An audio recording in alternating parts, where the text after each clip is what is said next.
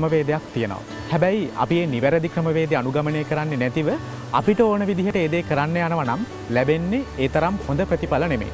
මම මේ කතා කරන්නේ නිවැරදි ඉරියව් පවත්වාගෙන යාම පිළිබඳව. විශේෂයෙන් පුංචි දරුවෙකුට නිවැරදි ඉරියව් පවත්වාගෙන යාම ඔහුට හෙට දවස් ඉතාම යහපත් විදිහට සකසා ගන්න වැදගත් වෙනවා අත්වැලක් සපයනවා. ඒ නිසා අදත් සූදානම් ඒ ගැන ටිකක් වැඩිපුර කතා බහ කරන්න. යහපත් සෞඛ්‍ය පුරුදු සහිතව යහපත් අධ්‍යාපනයක් ලබා ගන්න අපි අපේ දරුවන්ම හැම වෙලේම පොළඹනවා.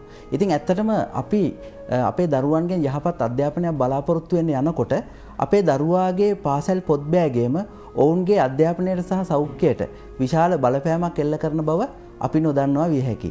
ඇත්තටම මේ ගැන අපි සැලකිලිමත්ව වෙන්න ඕනේ. මොකද අපි අපේ දරුවන්ගේ පාසල් බෑගේ කොපමණ බරක් තියෙනවද? ඒකේ ස්වරූපය කොහොමද? ඒකේ හැඩය මොකක්ද? මේක කොච්චර වෙලා මේ දරුවා එල්ලගෙන ඉන්නවද? මේකෙන් දරුවාගේ සෞඛ්‍යයට මොනතරම් බලපෑමක් ඇති කරනවද? ඒ ඇති කරන බලපෑම මේ දරුවගේ අධ්‍යාපනයට මොනතරම් නරක විදිහට බලපෑමක් ඇති කරනවද කියන එක අපි කවදාවත් සිතන්න නැතුව ඇති.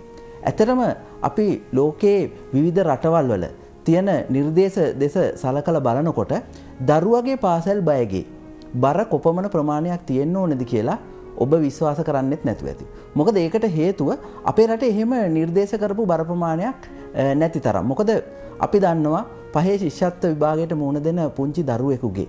පාසැල් බෑගේ බර ප්‍රමාණය වැඩිහිටියකුටවත් උත්සගෙන යන්න නොහැකි තරම් විශාලයි කියලා ඕනම කෙනෙකුට අවබෝධ කරගන්න පුළුවන්. ඉතින් මෙවන් විශාල බරක් උත්සගෙන යන දරුවා කොපමණ මානසිකව සහ ශාරිරික වශයෙන් පීඩාවට පත්වෙනවද කියන එක අපි හොයලා බලන්න අනිවාර්යෙන්ම ඕනේ. ඇත්තටම මුළු ලෝකය පොරා කරලා තියෙන පරීක්ෂණ වලට අනුව දරුවෙකුගේ පාසැල් බයගේ නියමිත නිශ්චිත බර කොපමණද කියලා අපිට කිලෝග්‍රෑම් ප්‍රමාණයකින් හෝ රාත්තල් ප්‍රමාණයකින් කියන්න අපහසුයි. නමුත් මේ විවිධ රටවල් වල විවිධ නිර්දේශ දීලා තියෙනවා. ඉතින් සමස්තයක් වශයෙන් ගත්තහම කිලෝග්‍රෑම් ප්‍රමාණයට වඩා දරුවාගේ බර ප්‍රමාණයෙන් 110ක බර ප්‍රමාණයක් පමණයි නිර්දේශ කරලා තියෙන්නේ දරුවෙකුගේ පාසැල් පොත්බෑගේ තිබිය යුතුයි කියලා. ඉතින් මේ තත්ත්වය අපේ රටේ කොපමණ ආකාරයෙන් කුමන විදියට ක්‍රියාත්මක වෙනවද කියලා අපි සලකලා බැලුවොත් ඊටාම කනගාටුදායක තත්ත්වයක් තමයි පෙන්눔 කරන්න තියෙන්නේ.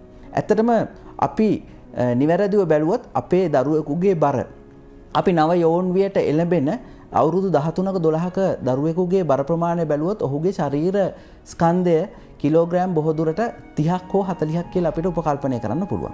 කිලෝග්‍රෑම් 30ක දරුවෙකුගේ බර ප්‍රමාණයට සුදුසු බෑගේ බර ප්‍රමාණය වෙන්නේ කිලෝග්‍රෑම් 3යි. ඉතින් කිලෝග්‍රෑම් 3කට සීමා වෙච්ච පාසල් භාගයක් තියෙන දරුවෙක් අපිට හොයාගන්න බැරි තරම්. ඉතින් ඇත්තටම මෙහෙම විවිධ පරීක්ෂණ කරලා තියෙනවා ලෝකයේ පුරා. එහෙම කරපු එක්තරා පරීක්ෂණයකදී හෙළි වෙලා තියෙනවා කිලෝග්‍රෑම් 12ක බර බෑග් එකක්. කිලෝග්‍රෑම් 12ක සිට කිලෝග්‍රෑම් 3 දක්වා අඩු කරපු විවිධ බර ප්‍රමාණයන්ගේ යුත් බෑග් ප්‍රමාණයන් එල්ලලා දරුවන් පාසැල් යවලා තිනවා. ඉතින් මේ අවස්ථාවලදී විවිධ අවස්ථාවලදී දරුවන් සතියේ දින පහක් තමාගේ බරෙන් 112ක් දීලා යවපු අවස්ථාවක ඒ දරුවන්ගෙන් 95ක් වේදනාව දැනෙන ස්ථාන ලෙස බෙල්ල උරහිස සහ කොන්ද ලෙස නම් කරලා තියෙනවා. ඇත්තටම සතියක් මේ දේ කරනකොට මේ ළමුන්ගේ වේදනාවක් ඇති වෙලා තියෙනවා අපහසුතාවයක් ඇති වෙලා තියෙනවා. ඉතින් ඒ තියෙන්නේ 112ක ප්‍රමාණයක්. නමුත් අපි අපේ දරුවාගේ බර ප්‍රමාණයෙන් කොච්චර ඊට වඩා වැඩි ප්‍රමාණයක් ඔසවගෙන යනවද කියලා ඔබටම දරුවාගේ පාසල් බෑගේ මැල්ලා තේරුම් ගන්න පුළුවන්. ඉතින් ඒ වගේම තමයි මේ ප්‍රමාණය මොවුන් හොයලා තියෙනවා දවස් පහක් යනකොට සඳුදා ඉඳන් සිකුරාද වෙනකොට සිකුරාද තමයි වැඩිම වේදනාවක් වැඩිම අපහසුතාවයක් පෙන්ලා තියෙන්නේ. ඉතින් මේ සියල්ල අරගෙන නිර්දේශ කරලා තියෙනවා අනිවාර්යයෙන්ම දරුවෙකුගේ පාසැල් බෑගේ බර ප්‍රමාණය තමාගේ දරුවාගේ බර ප්‍රමාණයෙන් 110කට වඩා අඩු වෙන්න ඕනේ. ඒ කියන්නේ කිලෝග්‍රෑම් 40ක් බර දරුවට කිලෝග්‍රෑම් 4කට අඩු පාසල් බෑගයකුත්. කිලෝග්‍රෑම් 30ක් බර දරුවට කිලෝග්‍රෑම් 3කට අඩු බර ප්‍රමාණයකුත් පාසල් බෑගයකුත් තමයි නිර්දේශ කරලා තියෙන්නේ. ඒ වගේම තමයි ඔවුන්ගේ ආබාධ ඇතිවීමේ ප්‍රවණතාව අඩු කරන්න මේ බෑග් එකේ ස්වරූපය. ඒ වගේම හැඩය. ඒ වගේම මේ දරුවා මේ බෑගය කොපමණ වෙලාවක් කරේ එල්ලගෙන සිටිනවද. ඒ වගේම කොපමණ දුරක් මේ බෑග එල්ලගෙන ඇවිදිනවද කියන කරුණුත් අපි සැලකිල්ලට ගන්න ඕනි. ඒ වගේම තමයි මෙම බෑගය එල්ලගෙන සිටීම නිසා තවත් එක් නිර්දේශයක් යොමු කරලා තියෙනවා. පාසැල් බයගේ අරගෙන පස්වෙනි දවස වෙනකොට දැඩි පීඩනයක් දරුවට ගෙන දුන්න නම් අනිවාර්යෙන්ම සතිය දවස් හතම අධ්‍යයනය කටයුතුවල දෙන්න එපා කියලා මේ අය නිර්දේශ කරලා තියෙනවා. ඉතින් මේ නිර්දේශයන් ගැන බලනකොට අපි බලන්න ඕනේ දරුවෙක් පාසැල් බෑගයක් එල්ල ගත්තහම ඔහුට ශාරීරික වශයෙන් පීඩාවට ලක්වීම පමණක්ද සිදුවෙන්නේ කියලා. ඇත්තටම පාසැල් බෑගයක් කර එල්ල ගත්තහම ඒ බර පිටිපස්සට ක්‍රියා කරනවා ගුරුත්වාකර්ෂණ බලයත් එක්ක. ඒ ක්‍රියා කරනකොට ඔහුගේ බර පස්සට ක්‍රියා කරලා පහලට දරුවා නැමෙනවා. එතකොට පිටිපසට ඔහුගේ ගුරුත්ත ඔහුගේ හෝ ඇගේ ගුරුත්ත රේකාව පිටුපසට යනවා. ඒ පිටුපසට යනකොට පාදයෙන් එහා පැත්තට මේ රේකාව ගියොත් එම දරුවා පසුපසට ඇද වැටෙන්න පුළුවන්. ඒක වළක්ව ගන්න ඒ දරුවා උරිස් වලින් වකුටු වෙලා බෙල්ල ඉස්සරහට දාලා කොන්ද වකුටු කරලා විකෘති ස්වරූපයක් ඇති කර ගන්නවා. මෙන්න මේ ස්වරූපය දීර්ඝකාලීනව පවත්වාගෙන යනකොට ඇත්තටම අවුරුදු 12ක් 13ක් යන්නේ දරුවාගේ කොඳු වැටපෙළ වර්ධනය වෙන වයස මේ වයසේදී මේ දරුවාගේ විකෘතිතාවයත් වර්ධනය වෙන්න පුළුවන්. ඒ අවස්ථාවේ දරුවගේ ඉදිරි පස ඇති මාංශ පේශීන් වැඩිපුර කෙටි වෙලා ශක්තිමත් වෙනවා. ඒ වගේම තමයි කොන්ද පසුපස තියෙන මාංශ පේශීන් හුඟක් දුර්වල වෙනවා. ඒ වගේම ඒවා අනවශ්‍ය ප්‍රමාණයට ඇදෙනවා. එතකොට මේ විකෘතිතාව ස්තීර වශයෙන්ම පවතින තත්ත්වයක් බවට පත්වෙනවා. එතකොට දරුවා විකෘති වෙනවා. දරුවාගේ ස්වරූපය කැත වෙනවා.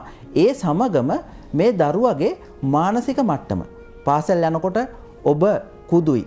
ඒ වගේම ඔබ වකුට වෙලා ඉන්න කියලා කවුරු හරි පැවසුවොත් ඒ දරුවගේ මානසික මට්ටම ඊටාම පහළට වැටෙන්න පුළුවන්. ඒ වගේම තමයි මේ ඇති වෙන මාංශ පේශීන් වල අසමතුලිතතාවය. ඇතිවන අසමතුලිතතාවය නිසා දරුවගේ කොඳුයට පෙළේ නියමිත වක්‍රය විශේෂයෙන්ම මේ උරස් කුහරය ප්‍රදේශයේ තියෙන වක්‍රය වැඩිපුර ඉදිරියට නැවෙනවා. ඒ වගේම බෙල්ලේ පසුපසට තියෙන වක්‍රය අඩු වෙනවා. ඒ සියල්ල නිසා ඔහුගේ හෝ ඇයගේ කොඳුවැට පෙළේ ආශ්‍රිත ව්‍යහයන්ට ඒකැන අන්තර්කසයරුක මඩල ඒ වගේම ස්නායු අතර ගමන් කරන ස්නායු වගේ දේවල්වලට හානි පැමිණෙන්න්න පුළුවන්. ඒ වගේම තමයි ඒ හේතුව නිසා මාංස පේශීන් තදවීම නිසා රුදිර සම්පාදනයත් යම්කිසි ගැටලු ඇතිවෙන්න පුළුවන්. මේ සියල්ල එකට ගත්තහම ඔබේ දරුවාට ඔබේ පාසැල් භාගය ඇති කරන බලපෑම කොතරම්ද කියලා අපිට තේරුම් ගන්න පුළුවන්. ඉතින් මේ බලපෑම අපිට කොතරම් දුරට පාලනය කරගන්න පුළුවන්ද. අපිට ඇත්තටම අවුරුදු දොළහක් වෙච්ච දරුවෙක්ව සුදුසුකන්ලත් බෞද්ධ චිකිත්සකවරයෙකු වෙත යොමු කරලා මේ පාසල් බෑගේ බරප්‍රමාණය මැල්ල මේක මේ දරුවට ඔරොත්තු දෙනවද. මේ නිසා ඔහු විකෘතිතාවලට පත් වෙලා තියෙනවද. ඒවාගේම ශාරීරික ආබාධවලට ලක් වෙලා තියෙනවද.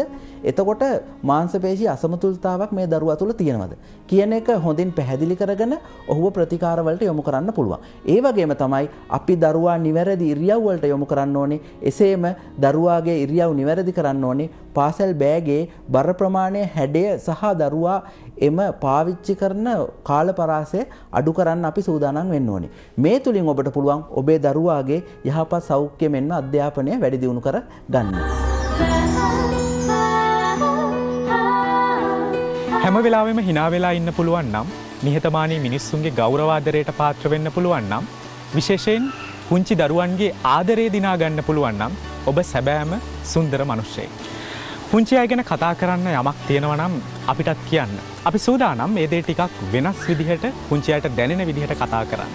නිෂ්පාදිකා අඟහරුවාද අරුත්බර ජීවිතය ස්වාධීන රූපවාහිනී සේවය වික්‍රමසිංහපුර බත්තර මුල්ල. සමුගන්නවා අඟහරුවාද අරුත්බර ජීවිතයෙන් ආරාධනය කරනවා ඔබට අපේ ලබැඳි හිතවතිය ඉඳුනිල් දිසානායක සමඟ සල්මල්්‍යයායට ගොඩවන්න.